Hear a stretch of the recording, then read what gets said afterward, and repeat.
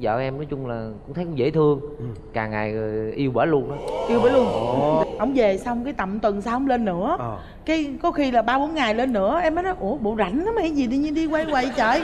Giống như là chơi cái chiêu mưa dầm thấm đất đó À. thì từ từ nó phải nảy sinh tình cảm mà đi chơi với ổng ổng có một cái điểm em nói thiệt luôn rất là dễ thương rất là thiệt tình. Một ngày nọ bà chị mới gửi nhà cho em. Ờ. nhà tú quận 12 á mà cái khu đó lúc đó là nó nó vắng. Thì em mới sợ là cái mấy mấy cái ông ăn trộm á, ông mới ông mới ăn cắp đồ. Thì em mới nói, thôi để em về nhà, em em canh nhà cho bà nhưng mà em đi quay nguyên ngày rồi. Thì ông này ông còn ở khách sạn nè, em đi quay về em nói, chết rồi giờ không biết nhờ ai hết. Mà em sợ cái dòng mà em sợ ma nữa em chùm sợ ma luôn. Em nói chứ trời vô tới đó rồi mở cửa không biết sao vô. Em mới gọi điện cho ông này. Em nói giờ hết rồi không ai để nhờ hết. Thì mấy tháng trời thì quen ổng rồi thì mới nói anh ơi bây giờ em có này em nhờ anh nha anh đi lên nhà chị em với em được không? Ổng ờ ổng ờ xong cái qua khách sạn em đón ổng chở lên nhà chị em xong. Tự nhiên em mở cửa em vô được cái rẹt vô được liền không có hề dấp giáp cái ổ khóa gì hết. em mới nói ủa chết cha hình như là mình sai sai gì á. Ủa, ủa mình mình biết ông này mấy tháng mà mình đâu có biết nguồn gốc ổng ở đâu nhà cửa ổng ở đâu? Tự nhiên rủ. ổng là ai? Chứng minh nhân dân ổng ra sao mình còn không biết nữa chết cha.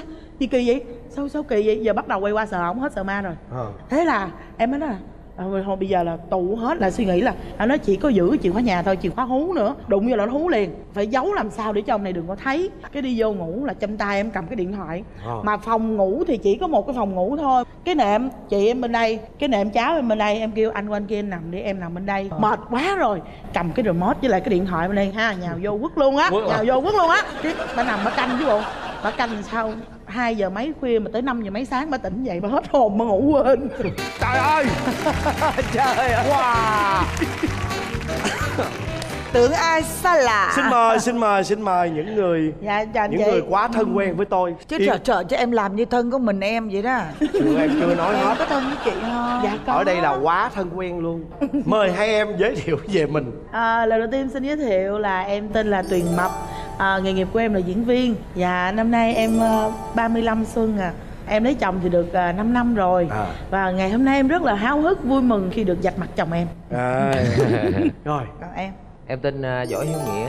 Em làm nghề thợ điện. Năm nay em được 35 tuổi. 35 quê tuổi. quán quê quán em ở cao lãnh. Đó. Rồi hai người này gặp nhau sao ta? Nhưng mà biết nhau nha Nhưng mà chưa có biết Dạ. là lý do gì tại sao gặp đúng nhau vậy luôn á. đó Đúng dạ, không? dạ, dạ. dạ. Thì uh, tình cờ bạn của ông xã em là gọi điện vô máy của bạn em là cách đây cũng lâu lắm rồi khoảng tầm năm 2010 á. Ừ. gọi mà gọi giống như gọi khơi khơi gọi đại thôi. Thì ai về gặp bạn em mà bé hơi nhút nhát nó cũng bự cái em mà nó nhát lắm. Đêm nào cũng gọi hết mà mỗi lần gọi là alo alo xong cúp máy. Giống như bị quấy rối á chị. Ờ, ờ, ờ. con bé nó mới sợ thì nó mới mét với em em mới nói đây đưa đây tôi xử cho. Thì em gọi là em chửi té tát vô mặt luôn đâu có hiền em mà cái miệng em dữ lắm. Thì mới gặp ông này thằng kia nó bị chửi quá nó sợ nó đưa máy qua ông này. Ông này chửi lại em. Ôi vậy rồi em đấu khẩu nhau trong điện thoại em mới hỏi là bây giờ ở đâu? Em tức quá em muốn nhào vô em quánh luôn á. Ờ. thì thằng kia nó mới nói là "Ừ, chị ơi em ở cao lãnh. Nó cao lãnh là chỗ nào mà thật sự em không biết cao lãnh ở đồng tháp luôn. Ờ. là khúc nào mày gần xa đét không? Dạ không chị xa hơn nó thôi xa quá không có đánh mày được mày ơi.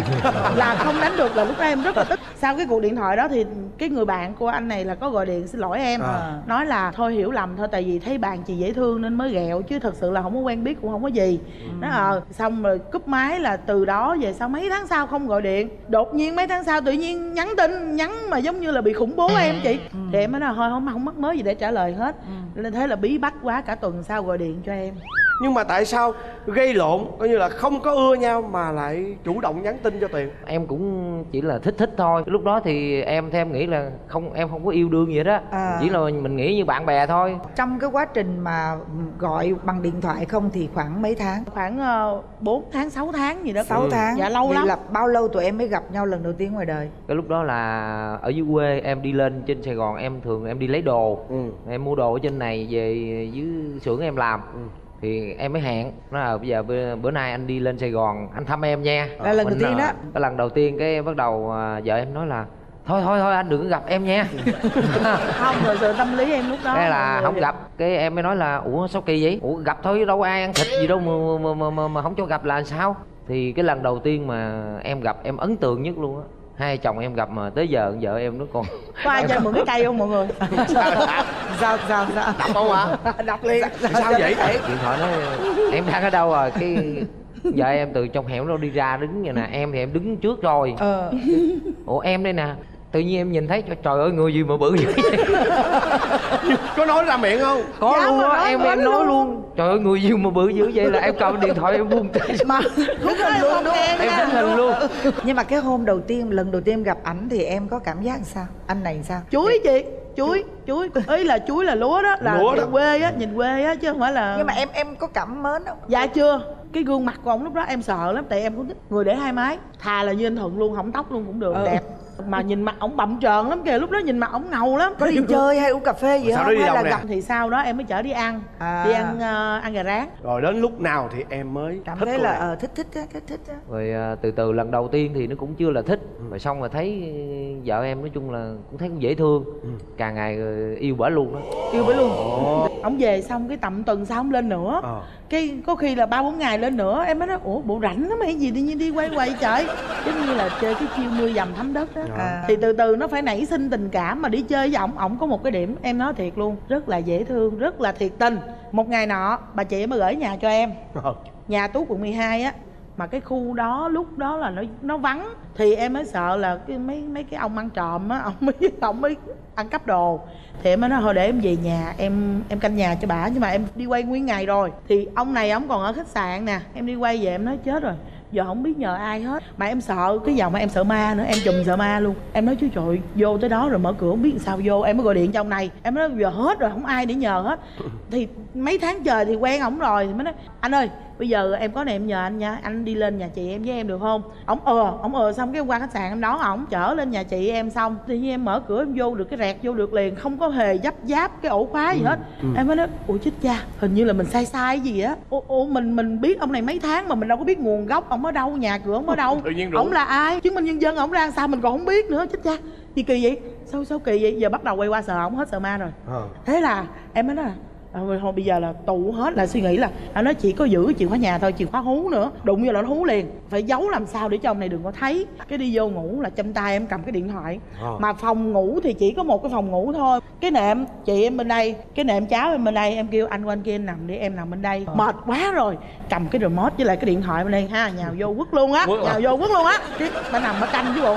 Bà canh sao hai giờ mấy khuya mà tới 5 giờ mấy sáng bà tỉnh dậy bà hết hồn bà ngủ quên trời ơi cái lúc mà em ngủ quên vậy em quan mang tột đỉnh luôn á. Mở mắt ra thấy là mỹ nó có ngủ không? Không ông không ngủ mà ông gì nè? Ông nằm nghiêng em cũng nằm nghiêng. Mà nhìn tự- em hả? Ông khoanh tay ông nằm nhìn em nhìn nè trời ơi trời hai con mắt trò lỏ nhìn em. Em mới nói chứ chết rồi không biết tối qua nó làm gì mình không? Chạy ra chạy đi vô nhà vệ sinh kiểm tra gấp nè. Nói chung là cẩn thận đêm đó là không có dính gì. Dạ đúng.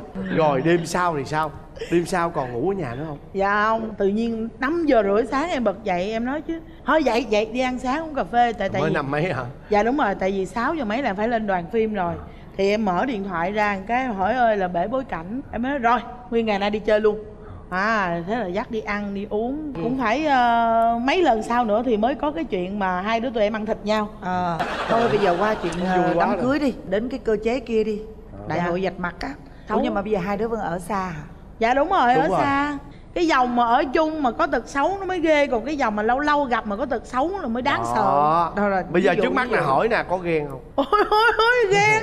Đứng đầu danh sách ghen là người đàn ông ghen nhất việt nam đó. Trời ơi. Bây giờ em ghen sao? Kể chị nghe một cái tình huống ghen của em coi em ghen cũng là bình chứ thường chị là thôi. chị biết rồi đó nhưng mà ví chị dụ muốn như khán đàn giả ông coi. ghen á mỗi người mỗi cái điều cái tính khác nhau còn em thì Ờ. tính em khác. Yêu cầu em gọi điện ừ alo em đang ở đâu vậy? Em làm gì? À nói chuyện đúng mình cảm thấy ờ hợp đúng là thôi. Nhưng mà giờ em nó hay chọc em lắm. Cũng như là bây giờ lừa mình nói ờ bây giờ em đang ở đây nè em đang ừ em đang ở khách sạn. Ủa, ủa ở khách sạn với ai? Làm gì? Mà làm mình mình quạo quạo xong rồi cái chọc quê mình. Mới ba ngày nay tự nhiên đang điện thoại nó anh lên tới chưa? Em ra em đón anh nha. Nó ừ anh đang đang trên xe đang gần tới à. Ông nói là lát nữa ông lên. Em mới nói ừ chút xíu nữa em chạy ra em đón anh là bữa đó em đi lấy cái vali đồ. Thì em đã tới nhà nhỏ bạn em rồi. Cái xong cái ổng tới rồi cái mới ủa em đang đâu vậy? Nói em đang nhà bạn họp đâu nhà bạn họp đâu? Quay coi coi. Mà em nói thì chị nói nào ngay. Thí dụ như vợ mình ở trong khách sạn hay là đang ở trong một cái khung cảnh tối thui hay là không mặc đồ Ờ. hay là mặc đồ hở. Dạ em mặc quần jean em mặc áo thun mà em xách cái giỏ vậy nè. Em đứng ngoài đường em quay vòng là em không có gì về bà hết. Ờ nhưng mà em chỉ nói em chọc em sai địa điểm coi thái độ làm sao. Thôi em đừng có đón anh nữa. Anh đi về luôn. Có không có phải giận mà xe chưa đậu tới bến xe mà đòi đi về không biết đi về ngã nào. Em mới nói chết rồi quạo rồi quạo rồi. Là gây suốt với em từ lúc từ bến xe em đón cho tới lúc về tới nhà luôn. Là còn hậm hực á anh. Còn phải năn là nỉ mấy ngày trời là đó. điện thoại là phải quay khắp nơi để Ừ. chứng minh đúng không? Dạ ba trăm sáu chục độ quá chị. Rồi còn tính xấu gì nữa không? Trời ơi lười. Em nói anh lười. Lười thí dụ là lười gì? Bây giờ em em em kể hoàn cảnh rồi mọi người cho nó là cái lười gì nha. Thí dụ bình thường anh không có được ở gần vợ gần con anh đi thì ít ra mỗi lần mà anh được gần vợ gần con anh phải tập trung anh chơi với vợ chơi với con. Không chơi được có ngày đầu tiên lên hả? Cái tới ngày thứ hai cái sáng ra cái ăn sáng. Ăn sáng xong cái nằm dài ở nhà nè coi youtube. Con chơi gì kệ nó.